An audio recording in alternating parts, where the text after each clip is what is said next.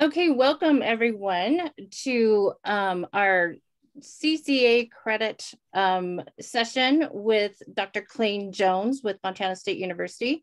And his, um, I'm going to throw this to Gary here in a sec, but I would ask you that um, you put your name and affiliation in the chat. And if you're seeking CCA credits to indicate that as well. Um, and so now I will hand it off to Gary Iverson. Thank you, Jamie. And uh, uh, we appreciate everybody joining us today. Uh, and and uh, the CCA credits is kind of a new thing that we started this summer, um, hopefully to get more uh, certified crop advisors uh, interested in organics. And Dr. Clain Jones is our go-to fertility guy at Montana State University. Um, and and uh, I think majority of you probably have probably seen him before.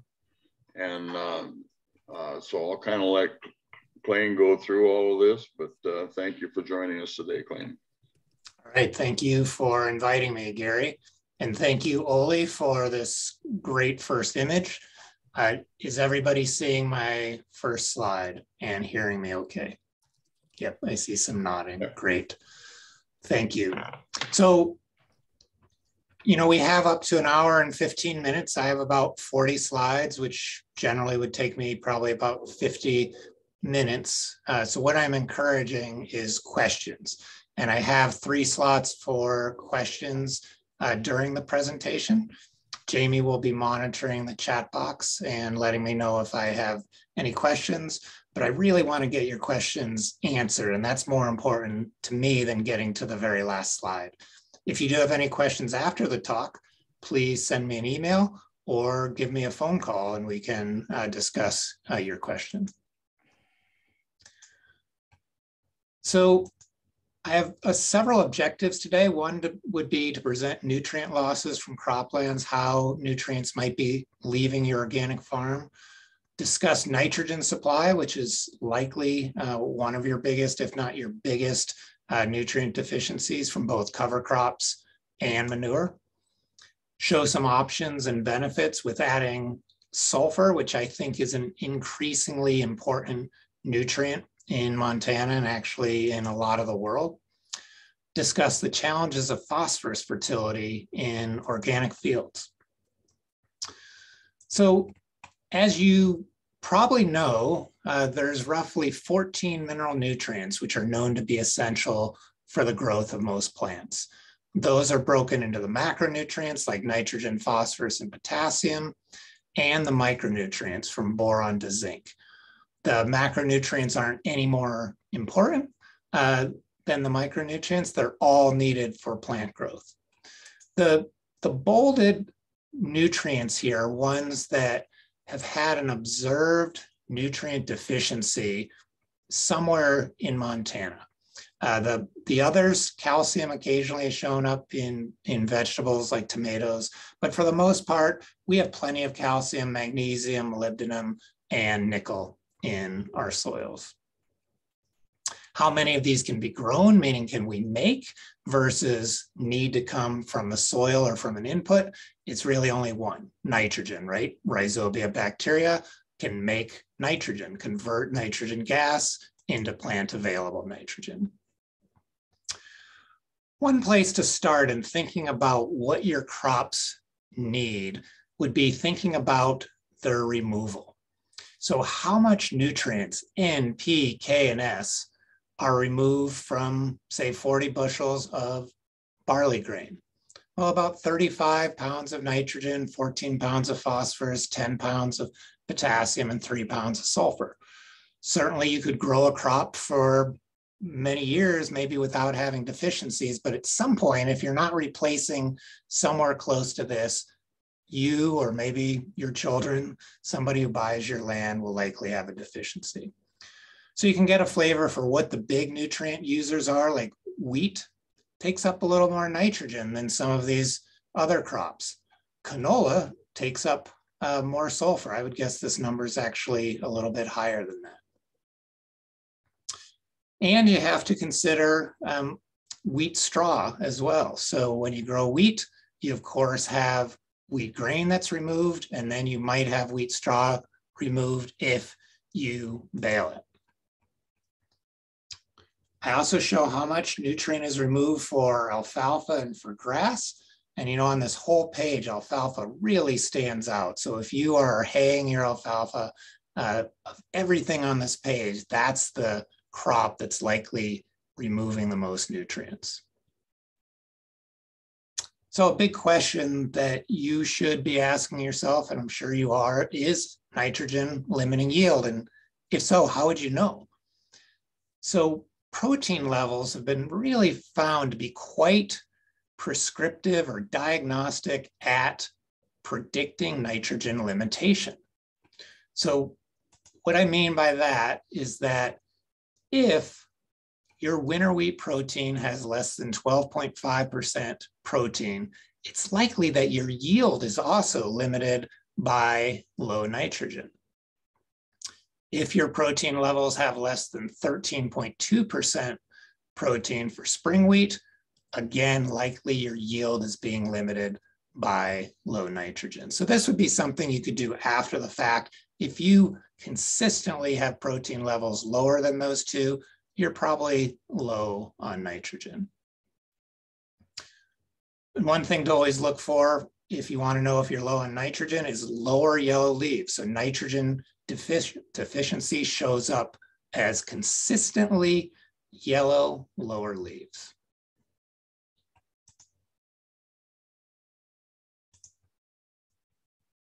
what are some nitrogen options or some options to get nitrogen into your soil? Certainly manure, manure compost, poultry manure would all be ways that you could get nitrogen into a crop.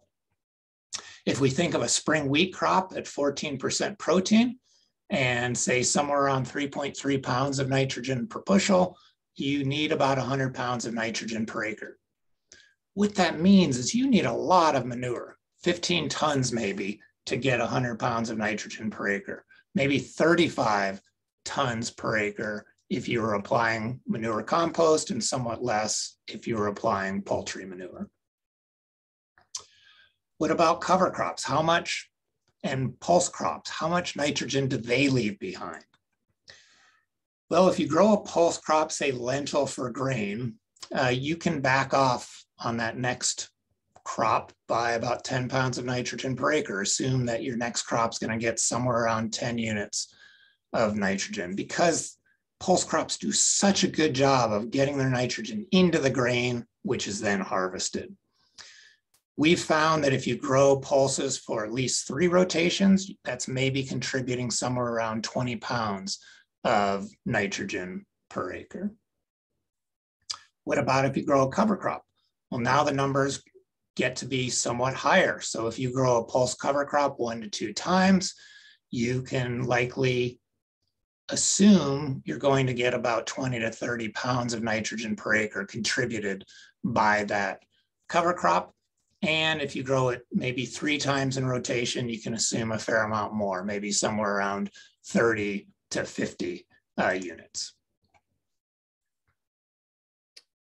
Um, Clayton, we have some specific nitrogen questions about the wheat um, and, okay. and pulses actually. So Jeff asked, so pulses lose more nitrogen than it adds? And nope, so pulses don't lose more nitrogen than they, than they add. This is about how much nitrogen the pulse crop will contribute to the next crop if you remove the grain. So for example, let's say um, you grow 20 bushels of peas, you remove those 20 bushels of peas, and with it, you remove quite a bit of nitrogen. This 10 units is about how much available nitrogen is for the next crop. That doesn't mean that's how much nitrogen that pulse crop contributed. It might have contributed 40 or 50 pounds of nitrogen per acre, but that's how much is available because a lot of that nitrogen goes into building organic matter. And uh, Doug has a question. Okay. Yeah, Clain, I'm not sure I understand the rotation uh, notation or so maybe could you explain that a little better? The one to two times versus three times? Sure. What Perry Miller and I have been finding is that if you grow a pulse in rotation once, say, let's say in the last four years, that pulse crop next year, if you grow a pulse crop in 2021, ignore the drought, um, in 2022, it probably contributed about 10 pounds of available nitrogen per acre. The next time you grow it, let's say in five years or four years, maybe contributes about 10. Once we get up to about three, we see a fair amount more, maybe 20 pounds of nitrogen per acre, uh, where pulse cover crops contribute more. But it's a good question. Is am I talking about one over 10 years? What I'm talking about is if the previous year was a pulse crop grown for grain, it's probably contributing around 10 pounds of nitrogen per acre. Um, Craig has a question about weed pressure um, brought on during pulse crop, the pulse crop growing season. Mm -hmm. oh, what's the question? Uh, the question is how to how to handle uh, whenever you grow a, a, at least like lentils are very, not very competitive, so you end up with a lot of weed pressure during that season, even though maybe you get a little bit of nitrogen gain. Is it work? You know, what's the what's the overall ad? Yeah, I mean, weeds are, as you guys all know, a, a major problem in both conventional and organic systems. And that's a, a trade-off that people have to weigh. Peas are going to be a little more competitive uh, than lentils because of their their height. Did that answer your question though, Craig? Well, it just states the problem. Yeah. right. Yeah. Um, and I, Jeff. I'm sorry. Um, yeah, I want to just nail this maybe down what Doug already said was, but um, it does appear then from this, and maybe you're going there, so I shouldn't jump ahead. Everybody's calling me all of a sudden. Uh, anyway, um, it seems like the more frequently, whether used for grain or cover, the more complicated I would say, or the more often and the more maybe diverse of your rotation, the better gain you get from pulses. Right. The more often they're in rotation, the more gain you get. But I saw Doug shaking his head like, Clain, I don't know what I don't know what you were talking about. So I didn't do a good job. Doug, do you want to um, ask it a, a different way? Yeah, I'm just trying to understand. Like, are you saying if you have three pulses in your rotation, you can double the credit? If if you if over the last 10 years, to be somewhat arbitrary, but over the last 10 years, if you had three pulses grown for grain on a particular field, uh, we think from our research that that contributes about 20 pounds of N per acre, that last pulse crop. And it's because of that accumulation of nitrogen from okay. those two previous ones. I just like the first thing that occurred to me is well, there's a recipe for disease disaster. If we're if if the recommendation for fertility is to pack the pulses in, uh, yet you know Mary and our friends in the diagnostic world are telling us never less than two years between, and ideally three to five, and so it kind of conflicting uh, yeah, and it's not a recommendation. It's just what we're finding if if you have three pulses for yeah. grain. So gotcha. Yeah, I guess that, point. that was my confusion. Is okay. Thanks, Doug. All right. Anything else, Jamie? I think we're caught up. All right. So legumes likely are going to be, I think, your best nitrogen source on Montana organic farms. There's, for those who have livestock, manure might be uh, the better choice. But again, looking at the volumes of manure that you you would need, especially on say a you know 4,000 acre farm, it gets to be more probably manure uh, than you have, and that's why I say legumes are are likely going to be the way to go for a lot of you. So when does nitrogen get released from plant residue? Well, research shows that most of that release is for the first year in those seven to 10 weeks when the conditions are suitable for decomposition. So that's going to depend on the nitrogen content. It's going to depend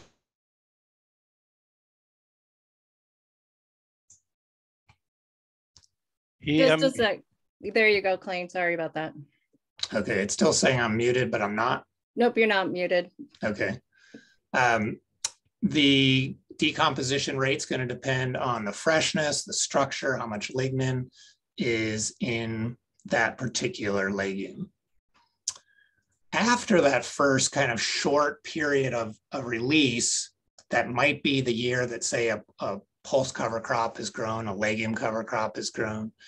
Uh, what we see is that the release is relatively steady after that period with just a slow uh, drop off. One study we found showed that about 15% of pea cover nitrogen was used by spring wheat the following year. Again, that might seem low, but a lot of that nitrogen likely went into building organic matter, which isn't a bad thing. It's going to come out eventually. Another study found that 55% of pea cover nitrogen was used by crops over the three following years. So that nitrogen eventually, most of it does come out, a little bit of it stays behind in organic matter. So looking at a graph of plant available nitrogen in pounds per ton of residue on the y-axis. On the x-axis is the total nitrogen as a percent of dry matter.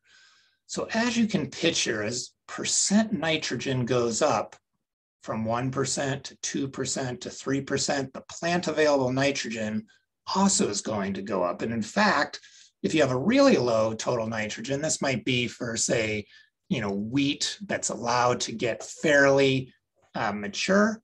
It's going to have a really high carbon to nitrogen ratio and almost no available nitrogen is going to come out. Whereas if you have, say, a pea crop, which has very high total nitrogen, quite a bit of plant available nitrogen can come out. So let's look at some specifics there. Oh, and sorry, the blue dots are four weeks after termination. The yellowish brownish line here is 10 weeks after termination. So an immature legume crop is probably going to have somewhere around 3% total nitrogen, release a fair amount of plant available nitrogen per ton of residue. Cereals that are uh, you know, fairly far, far along, somewhere around stem, stem elongation. Brassicas that are at flower might be somewhere around 2% nitrogen. Notice there, you're not going to get nearly the nitrogen release as you would from an immature legume. And then again, cereals post-heading have very little nitrogen and therefore almost no plant available nitrogen. Bottom line is the earlier you cut or the earlier you terminate uh, a cover crop, the more nitrogen that will likely get released. But you have the trade off that the later you cut it, the more biomass you've built. This is a somewhat busy looking uh, graph until uh, you spend a little time with it. What it's showing is the nitrogen released in pounds per acre at a site in Alberta over an extended period of time, up to about 160 weeks, so three years, for four different crops. Two of those crops were cut for grain. So pea cut for grain shows, you know, relatively little nitrogen released in that first year, but that nitrogen continues to come out for an extended period of time faba bean because it's a really good N fixer and a, a really robust crop, especially it seems uh, north of our border uh, where they get you know more rain, cooler temperatures, can release quite a bit of nitrogen, up to about 120 pounds of nitrogen uh, per acre. And that's just from the residue. Faba that's terminated for cover, meaning it's tilled, shows a faster release of nitrogen, but then a continued release for several years. Vetch that's terminated as cover, tilled into the ground, has a really fast release and then a flattening of that release over time. Take home message is if you take a crop all the way to grain, you're going to have a slower release and likely a longer period where that nitrogen slowly bleeds off. Covers that are terminated and not cut for grain have a much faster release, but then more of a plateau over time. Any questions so far? Yeah, we have one from Craig about the gains in nitrogen of intercropping. Yeah, I, I wish I had more data on that. Perry's done some very, Perry Miller, my colleague here in Bozeman, has done um, some small studies on that. I know they've done more in Canada. I've seen them primarily in conventional systems, um, but I unfortunately have not seen intercropping data on organic farms. And so that's, I think, a, a big area of needed research. My gut feel though, you know, one of the classic um, intercropping strategies, at least used in Canada, would be something like chickpea and uh, flax, two seeds that are very different in size. The goal in Canada is actually to reduce ascochyta blight on the chickpea by using up a little bit of um, the moisture. My gut feel is the chickpea will use the nitrogen that's available. The flax will use the nitrogen that's available. The flax won't get really much of the nitrogen from the chickpea because the chickpea's fixing for itself. Um, that's just kind of a qualitative answer. Okay, uh, Doug has a comment um, that they don't consider manure or compost to be a significant contribution to their nitrogen needs. Um, there for the pea, we need to grow the nitrogen with legumes. Yep, I agree that manure is really a much better source of, of phosphorus than, than nitrogen. I agree with you, Doug. And then Joseph asks, is there any difference between nitrogen release from terminated and incorporation or no incorporation into the soil? Uh, there, there is. And so um, Perry Miller and Mac Burgess did a three-year study here in a 14 inch rainfall zone out um, about halfway between here and Three Forks. And what they found was that by tilling, there was uh, quite a bit more nitrogen released, and that showed up in largely higher protein um, than in, say, a no-till system where the residue was left on the surface. Presumably, that's because decomposition can uh, happen a lot faster. So certainly an advantage in tilled uh, organic systems over residue left on the surface. Thanks, Joseph. Can can you speculate, Clain, if, if our termination method is, is a noble blade that leaves most of the surface residue on the surface rather than incorporating, uh, how would that impact nitrogen release from a pea or a vetch? Right. I think it would be, you know, somewhat intermediate when you look at that residue left after a noble blade that's sitting, say, right at the surface, but not buried. A lot of times it's fairly you know, it, it's dry, it's harder for microbes to get to it. And that's not necessarily a bad thing because the next time you till or seed and get that incorporated, there's going to be a slower release. But I don't think that nitrogen's really going anywhere. I think most of it's hmm. sticking around on your field. Good. That actually makes sense for containing the moisture too for the next year. Mm-hmm. True. Yep. Uh, I was I was considering try, trying to use legumes to uh, as with intercropping so that it one keeps helps with the weed pressure and provides a little nitrogen. so weed pressure is probably a bigger issue than nitrogen in many cases. I agree. Hmm. Uh, Clain, would yeah. you mind um, if you I don't know what comment you would have um, on building soil organic matter with respect to when you have a legume, I know you focused on soil fertility here as you know legumes contributing that end, but we don't have a lot of biomass on the legume. So could you maybe talk a little on you know building soil organic matter in where legumes are, uh, are used in as part of the rotation. Yeah, so you, are you talking legumes either grown for grain, like yes, or cover like crop. like timeless, or as a yes. cover crop? Yes, sir. Yep. Um, so so both have good potential to build organic matter. The um, because a lot of residue, you know, when you compare a cover crop, say that's grown to bloom, say first bloom stage, yeah. with a lentil that's grown all the way to grain, um, a lot of times the residue left behind isn't that much different. Partly the one grown for grain has grown longer, but you're removing the seed. And so both have the potential to grow organic matter.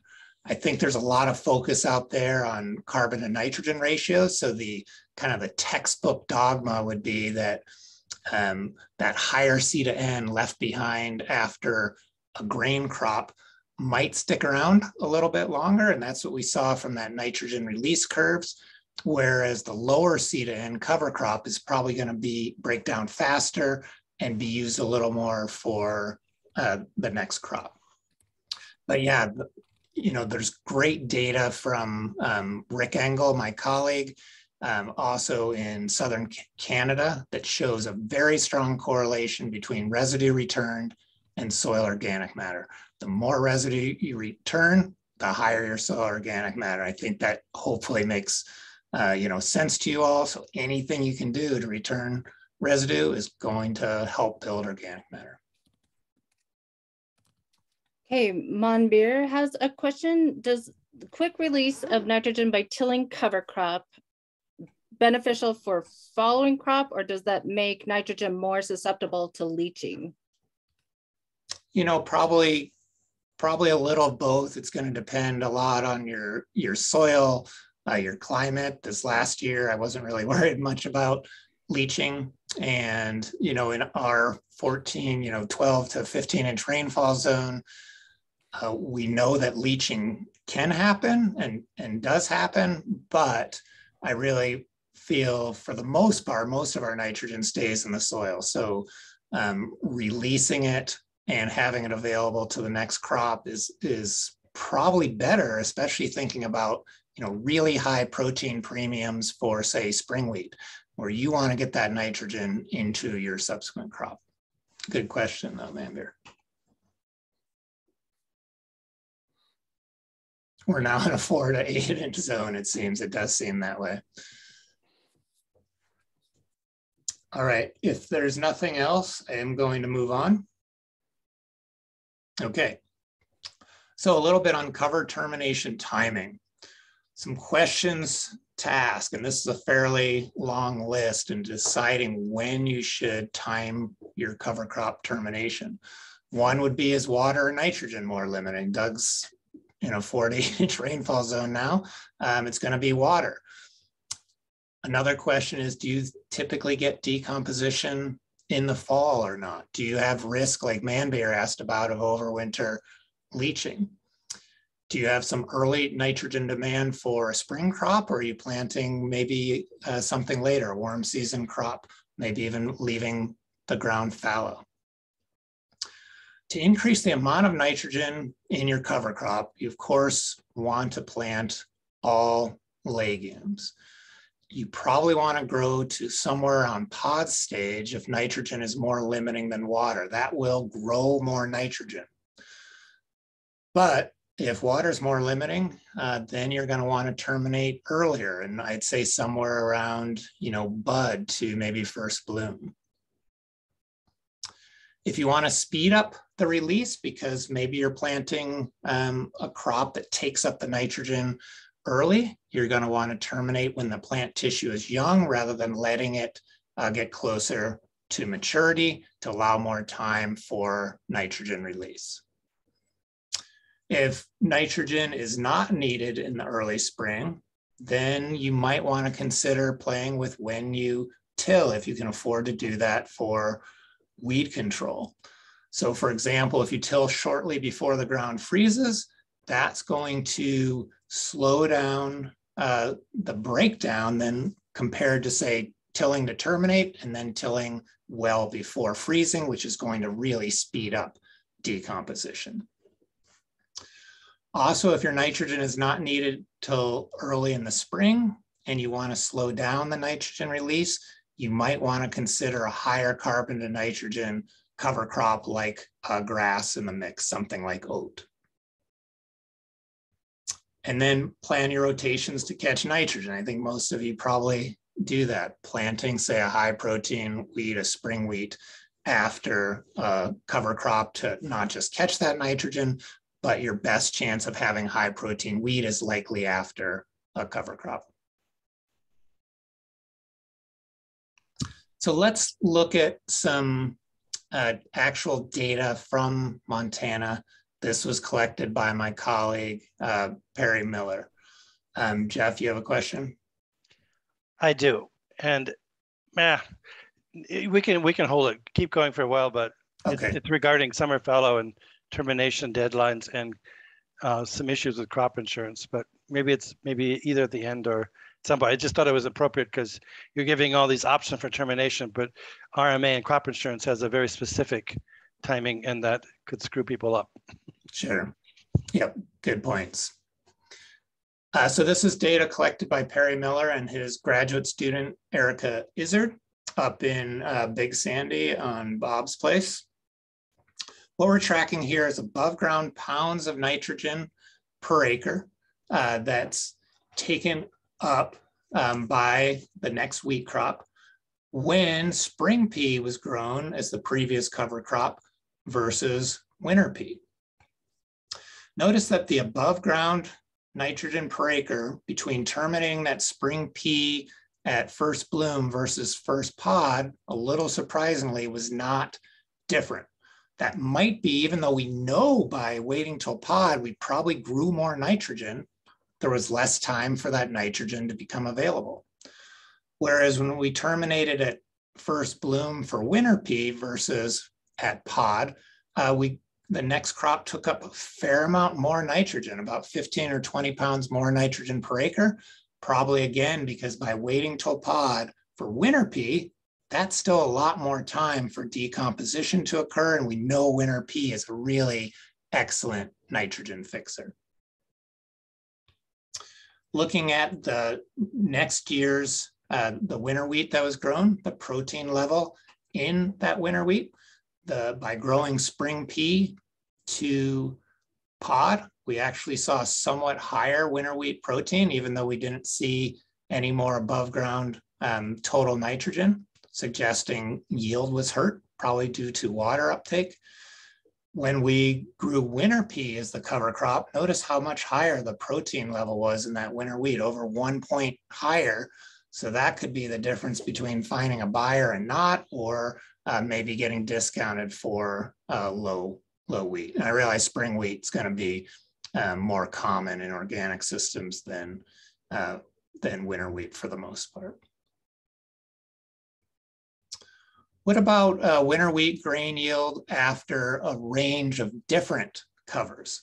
So here we grew mustard, spring pea, and winter pea to bloom. We also grew those same crops, mustard, spring pea, and winter pea to pod, and then we used fallow essentially as a control. Winter wheat grain yield after the winter pea was significantly higher, almost seven or eight bushels per acre higher than when winter wheat was grown after spring pea or mustard. And again, after pod, the winter wheat grain yield was quite a bit higher after winter pea than spring pea or mustard. And for the most part, yields were substantially higher, three to four, maybe bushels per acre higher by terminating early because of the water conservation of early termination. That was in 2006. In 2007, we saw generally uh, similar trends, but for the most part in 2007, the yields outcompeted yields in 2006 and actually outcompeted fallow, which we don't see uh, very often just because fallow stores uh, more water. thought question for you who have been farming since 2006, 2007. Why was yield after green manure mostly less than after fallow in 2006? But yield was higher after green manures in 2007. And instead of waiting for an answer, that the answers you could probably guess came down to precipitation. In Big Sandy, that year, 2007 was a moister year than 2006. So it didn't really hurt to grow cover crops from a moisture perspective, whereas it did in 2006.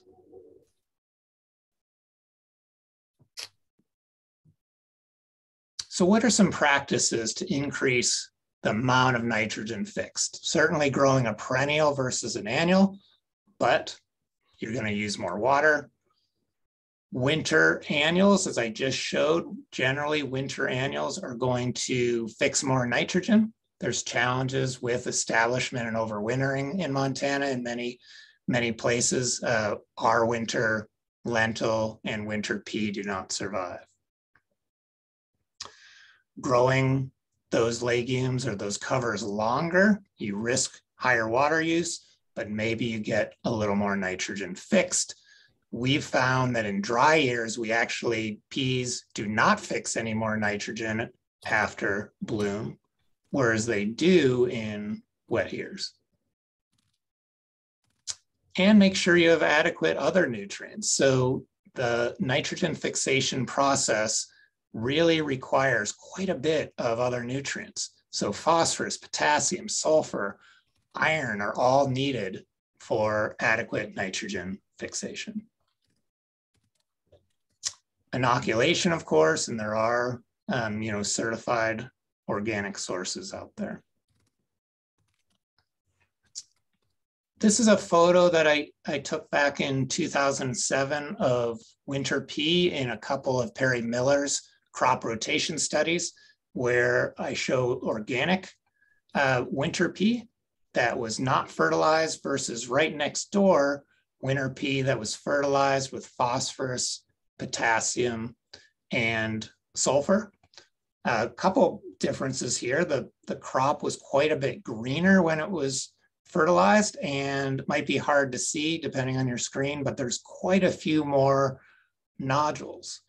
The other difference though is, is here the roots look actually a little bit fuller. So I think that organic crop was trying to find uh, nutrients and actually had a fairly um, healthy root system, but it does show that you can get more nodulation with adequate phosphorus, potassium, and sulfur. When we did some tissue testing, this really came down to phosphorus and sulfur, not potassium.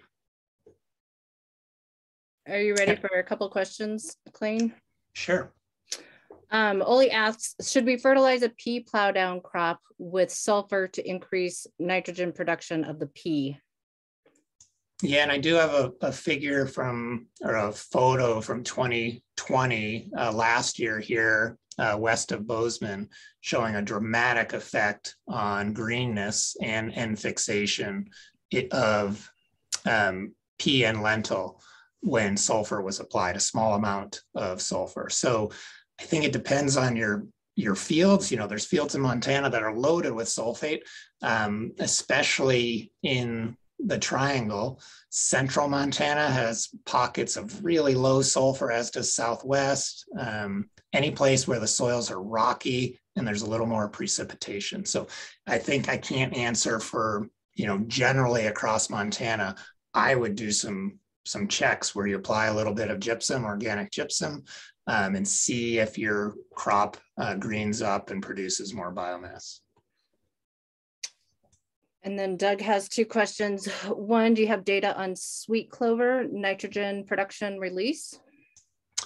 Know, Perry did use sweet clover in uh, one of his long uh, term studies. We did see some pretty good uh, biomass nitrogen. I, I, don't have it in, in this talk. I'd, I'd have to dig a little bit for that, uh, Doug. Um, I don't think I've seen anything in the published literature, but I know sweet clover uh, has been used quite a bit in Montana uh, for uh, cover crop. And then what about seeding dates for green manures?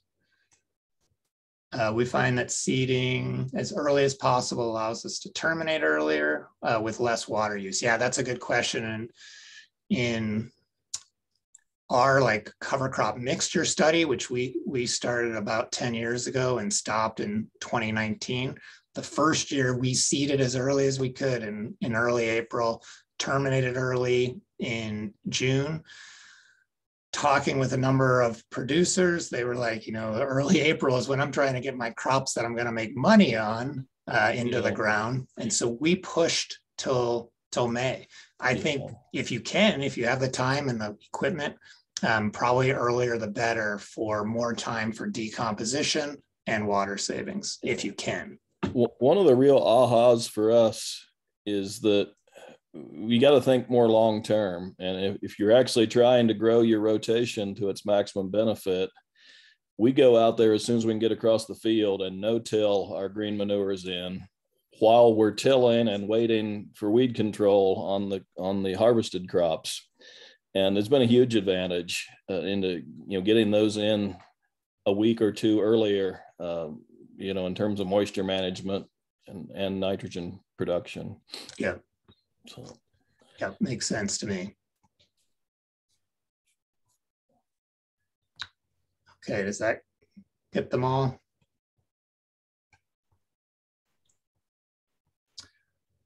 All right um Doug pointed out in the chat that you know we can't grow winter crops up that far that far north. This does show some winter pea roots. Uh, again, in the same study, organic that wasn't fertilized versus fertilized with P, K, and S. Um, now that we've zoomed in, you can see that there were some nodules in this organic system. They just were, um, you know, substantially smaller, and we think that's why we saw some early season uh, chlorosis was likely due to low nitrogen fixation, but it might have been uh, just low sulfur. It was, it was one of those two.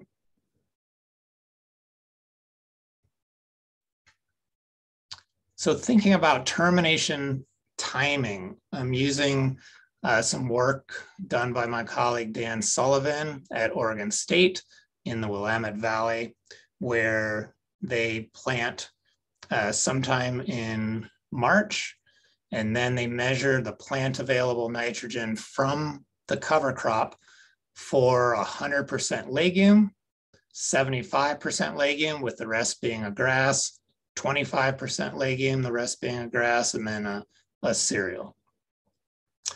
Notice that by terminating a legume somewhat early, you get really high amounts of plant available nitrogen from that cover crop. In this case, uh, they got about 90 pounds of nitrogen uh, per acre when it was 100% legume. 75% legume, they still got a fair amount, around 60 units of nitrogen. But when they dropped to 25% legume, notice that they got almost no plant available nitrogen. And if they terminated late, sometime after bud, they, they basically got, you know, a net of zero. And then a cereal, actually showed for the most part negative plant available nitrogen. So that all that carbon that a cereal produces without much nitrogen, microbes end up breaking down that carbon and stealing nitrogen away from the crop. So early termination and having somewhere probably more than about 40 or 50% legume is probably the way to go. Also, getting back kind of to Doug's question, the frequency of legumes needed to supply nitrogen is important, but needing to keep a disease, of course, in mind. So this is a study four miles west of Bozeman, 16 inch rainfall zone, total one foot soil nitrogen. So this isn't what's available. This is just total in the organic matter, quite a bit up in the thousands. You probably all have thousands of pounds of nitrogen per acre in your organic matter. We measured the total nitrogen in different rotations in a couple of Perry Miller's study. One where a legume cover crop was grown one in four years, twice. So this was an eight year study for a, a no-till diverse, low nitrogen input system, a continuous wheat system that would have had high nitrogen amounts, and then an organic system. Notice there was no difference in total nitrogen among those three systems, even though these would have received quite a bit more nitrogen fertilizer. One thing to keep in mind though, is even though the total nitrogen was the same, the conventional systems had the advantage of being able to take you know, fertilizer nitrogen and bump yields in protein. The organic system would have had to get all of its nitrogen from decomposing organic matter. So I really think organic nitrogen has to be higher um, to actually get probably decent yields and protein premiums. In a neighbor neighboring study where the rotation was a two-year study, two-year studies of fallow wheat, continuous wheat, a spring pea winter wheat system, all um, either conventionally tilled or no tilled. Organic actually numerically ended up with a fair amount higher amounts of nitrogen. But again, this took growing a cover crop one and two years. So those would be years where you wouldn't be, you know, growing a crop for production. So my point here is if you really want to build total nitrogen, you're probably going to have to increase your cover crop uh, frequency with a focus on, on legumes.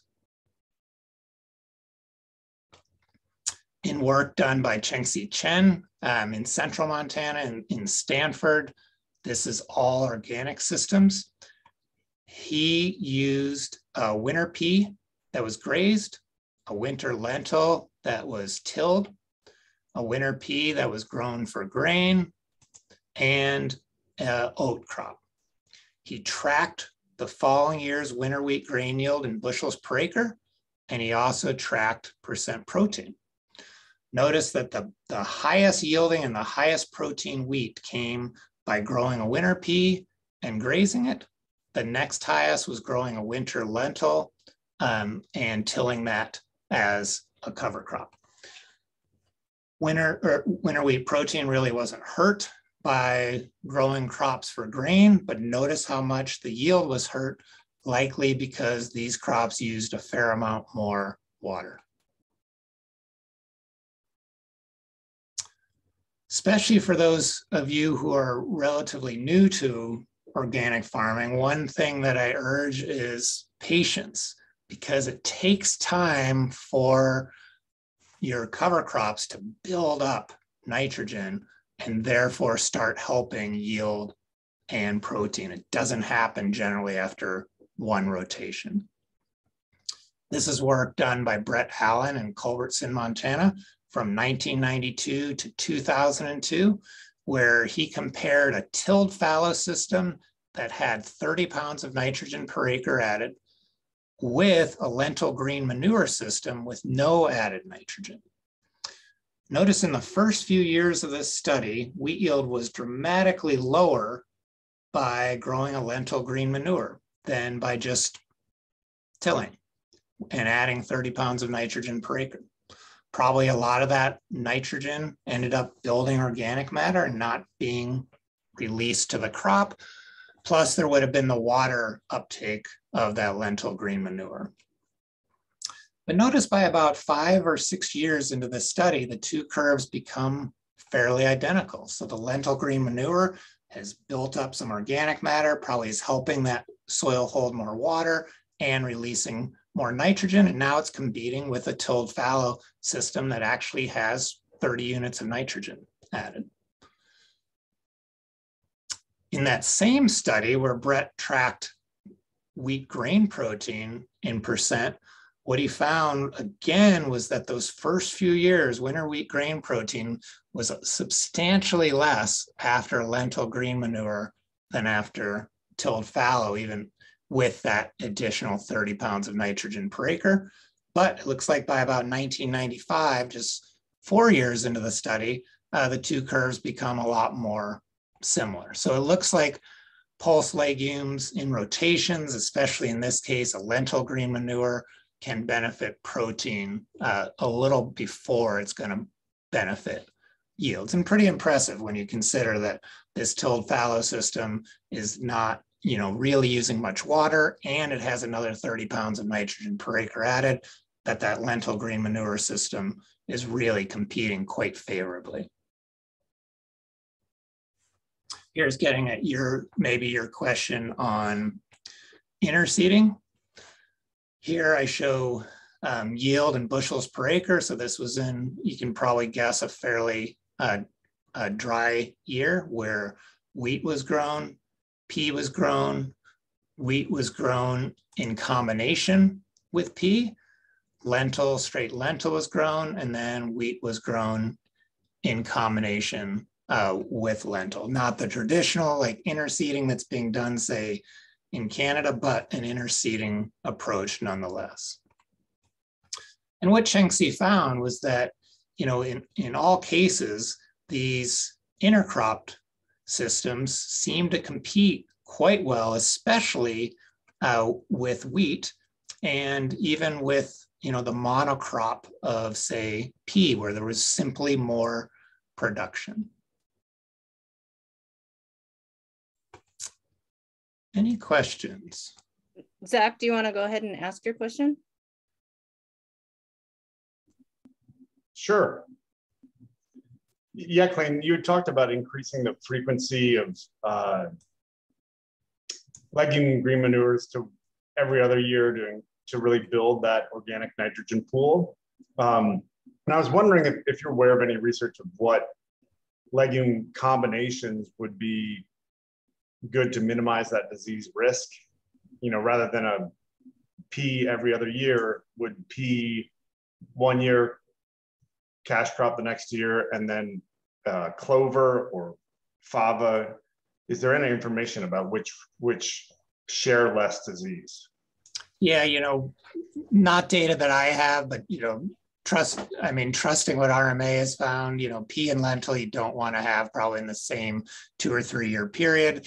Um, changing not just species, but getting out of you know pulses. Chickpeas seem to have different diseases than pea and lentil. So, so definitely mixing it up. Our rotations were quite simple. And a lot of times we researchers, you know, like simple, but it's not, you know, real world. And so, yeah, mixing up your, your type of rotation would be, your type of legume would be ideal.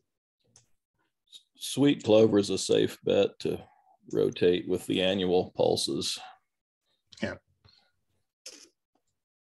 And then Jeff has a question about more recent studies um, on organics.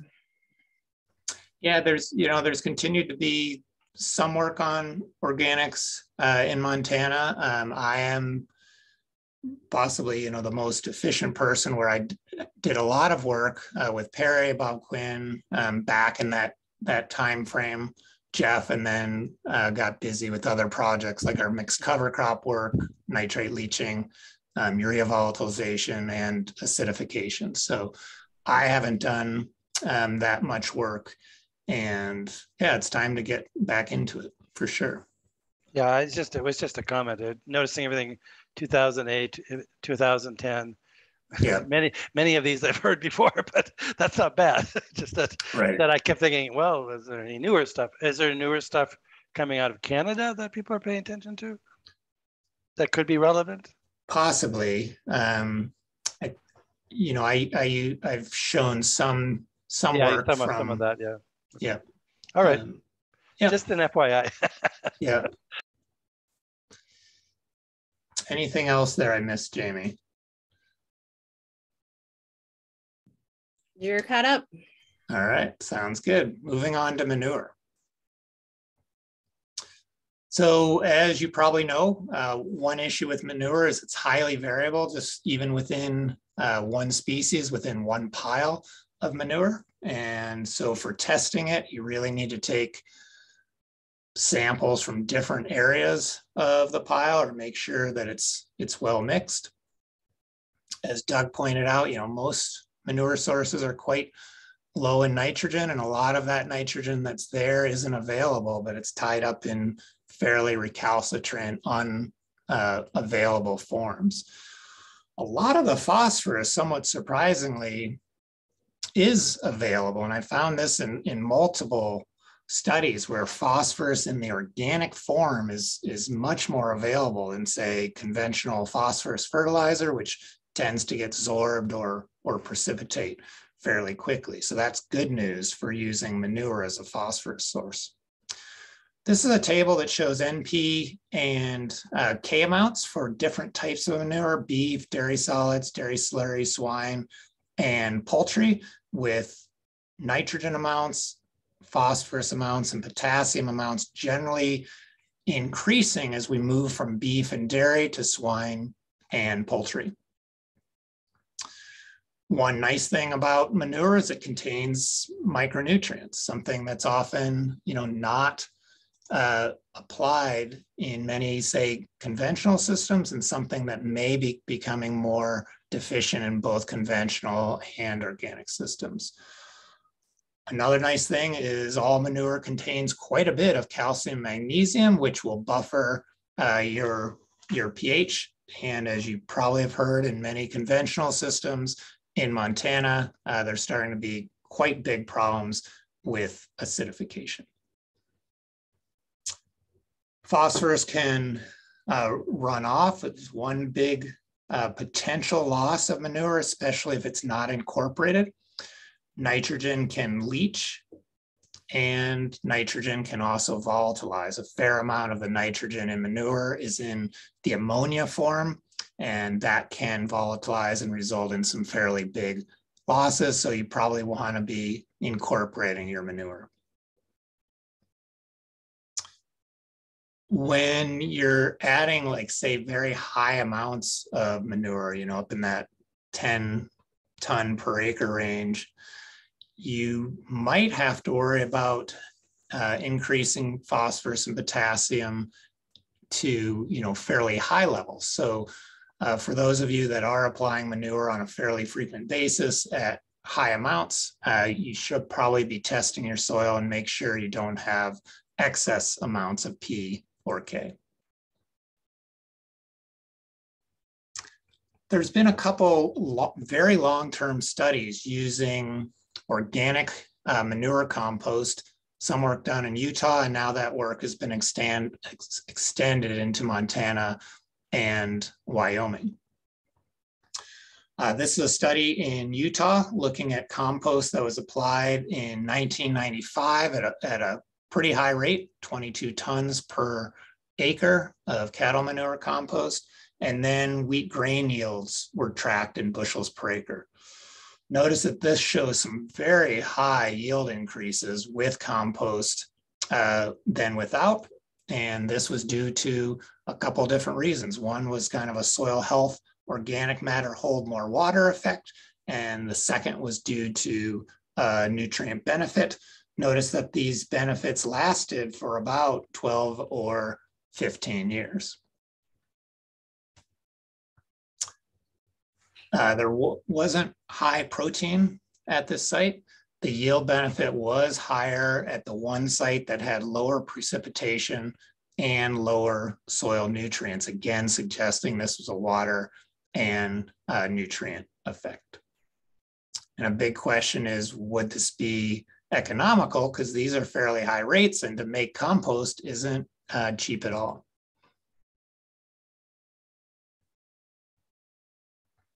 I did some work back in uh, 2009 on one of uh, Perry Miller's crop rotation cycles that was an organic treatment where I got organic beef manure here from the valley, applied nine tons per acre, and then tracked winter wheat grain yield both with manure and without manure, and found a, a, a nice substantial, about 14 bushel per acre increase in the manure applied plot. There was no effect on grain protein or weeds, and there was no effect the subsequent year. So it seems this was a fairly short-term benefit, likely because of increased nitrogen and likely increased phosphorus that simply did not stick around uh, for long enough for the lentil crop to benefit.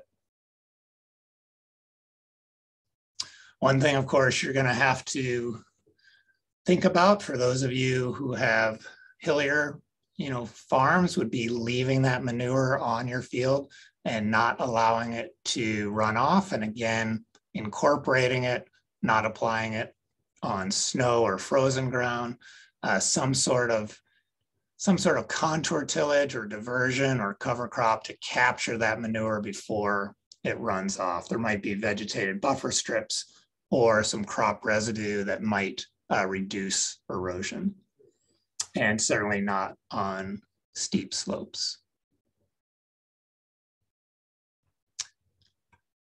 One thing to think about if you're getting consistently low proteins and it, and it doesn't really maybe agree with your thinking about how much nitrogen is available is you might be ending up with a, a sulfur deficiency. This is a photo of sulfur deficient peas, which I'm seeing a, a fair amount of sulfur deficiency in legume crops in Montana. So a little bit on sulfur fertility.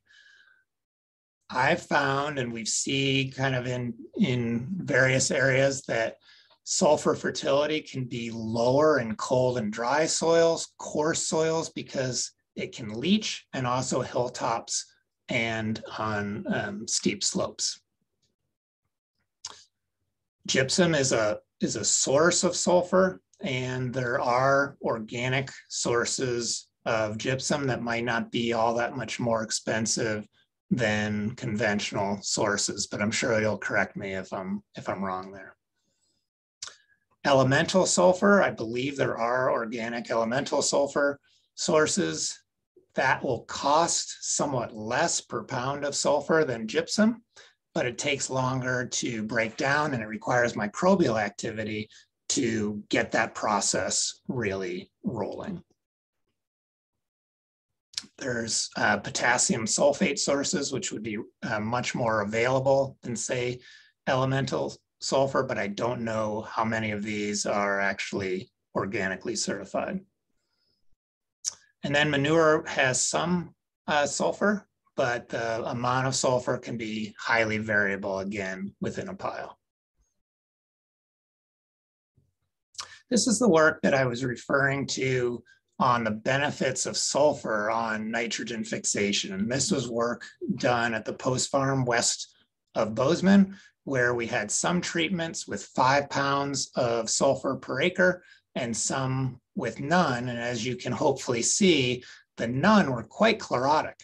And this resulted in a lot more nitrogen fixation, which is what I have plotted here, N fixed in, in pounds per acre for our five treatments with no sulfur and fixation average somewhere around 80, 85 pounds of nitrogen per acre.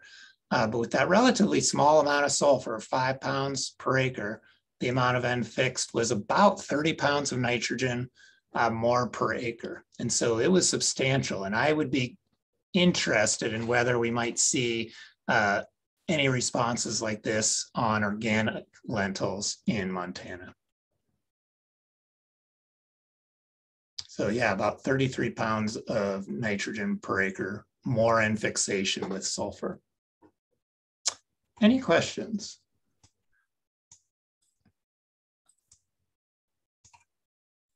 Oli? Uh, Clain, do you have any experience with the foliar sulfur out to the plants instead of the fertilizing it out? I don't. In this, you know, in this study, we actually had one system that um, had micronutrients, and those micronutrients added about another pound of sulfur per acre.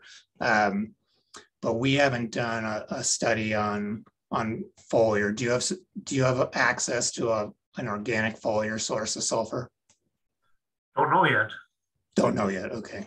But I I uh, I can see the issue out there as as, uh, as uh, and that's why I asked the question earlier regarding the plow down. So that's something I need to to work on to figure out. Yep. I think if you know if you can find gypsum relatively cheap, the nice thing there is that the sulfur would be available earlier in the year um, than waiting for a foliar application. True. Thanks. Craig? Yeah, a question about the sulfur. Um, I do. I'm all organic as well, but I uh, I added elemental sulfur this last spring, but I added a little bit more than I probably needed just because it was a good price on some land. How mm-hmm. long will that stay in the uh, ground and spread out over the years? Yeah, so what I've seen is it takes up to about three years to fully oxidize, meaning convert from sulfur to sulfate, but with probably, you know, maybe half of that getting oxidized, getting made available in that first year, and then a, a slower release after that. So I would say, you know, two, three years, and then that sulfate is susceptible to leaching, just like nitrate is. But if you have dry years, probably it's going to stick around in your root zone for a while. All right, thank you.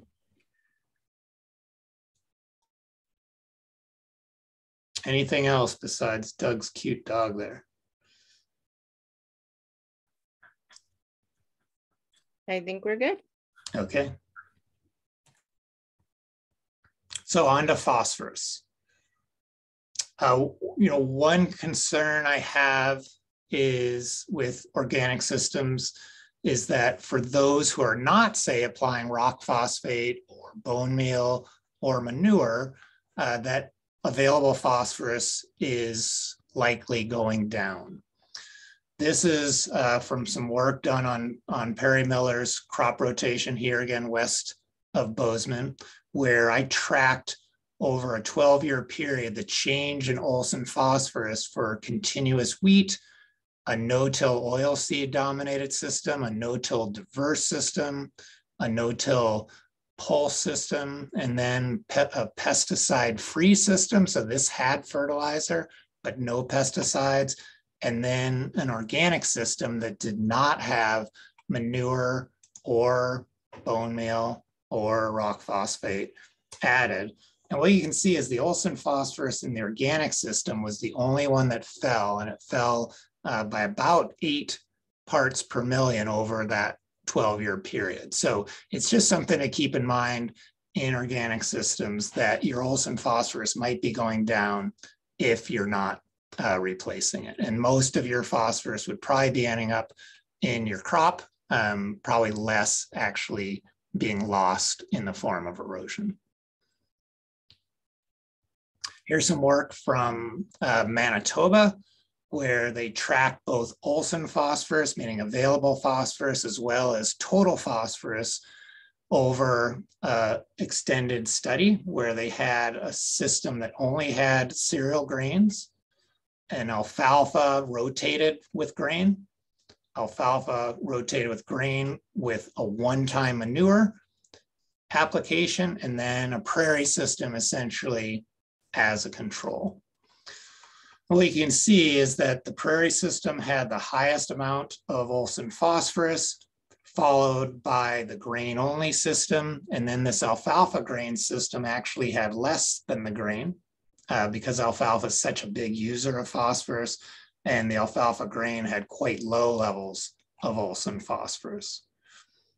When they also measured total phosphorus, those trends seem to stay kind of similar where you know the prairie system as the control had the most amount of phosphorus, the grain only system the next most, alfalfa grain with manure the next most, and then the alfalfa uh, grain rotation had the least. So the, the point here is that not only are we using up available phosphorus in these um, high phosphorus use systems, we're also um, using up total phosphorus. And this shows the total phosphorus removed by 12 years of harvest, quite a bit, especially in this alfalfa grain system, 240 pounds per acre of phosphorus. Uh, Jeff asks, why does a prairie maintain its phosphorus? Um, you know, and what I don't have here is the pre-level. This is after uh, 12 years, but I'm assuming it's simply because no phosphorus is getting removed in the, the form of harvest. Thanks, Doug.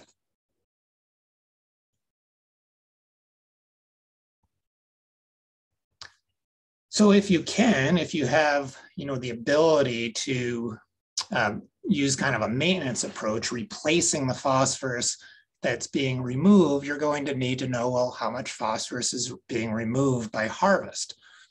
And so this is a crop that shows the uptake in pounds of P2O5 per bushel for some somewhat crop, common crops grown in Montana. Spring wheat, barley, and oat is going to remove somewhere between about 0.3 and 0.7 pounds of phosphorus per, per bushel. That's uptake. And then, uh, you know, a fairly high amount of that gets removed by the grain itself. Flax and canola actually have somewhat higher uptake and higher removal. And then faba bean is the winner. It takes up a, a very high amount of phosphorus uh, per bushel, as do lentil and pea. So again, maybe some, some goals for how much phosphorus might you add to maintain your phosphorus. Where is phosphorus most available? It's most available somewhere around pH uh, 6.5, and it's more available in low calcium soils, which we don't have many of in Montana. Um, it, it does seem to increase when we have higher soil organic matter.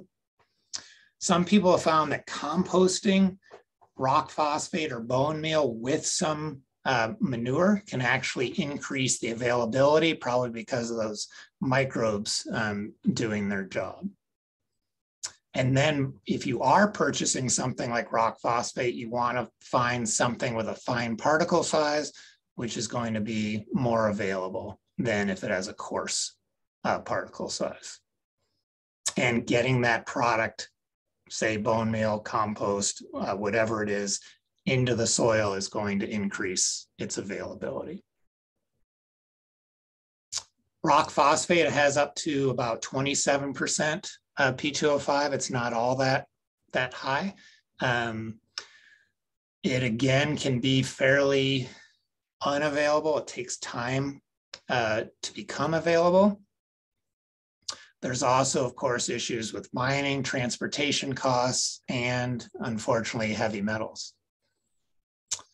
Bone meal has somewhat higher availability. It's generally somewhere around 310 zero to up to maybe 318 zero, a little bit of nitrogen and more uh, phosphorus. It's a little more soluble than rock phosphate. Again, some work I did over 10 years ago, sorry, Jeff, um, in some of Perry's plot studies with bone meal.